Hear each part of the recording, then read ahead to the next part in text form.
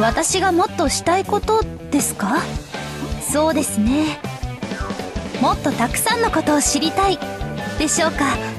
小さい頃からできる範囲で学習を続けてきたつもりですが教科書に載っていることだけが全てではないと思うようになりました。スクールアイドルを始めたことがそう感じるきっかけになったのかもしれません。歌やダンスにステージでのパフォーマンスどれも教科書には載っていないことばかりですから。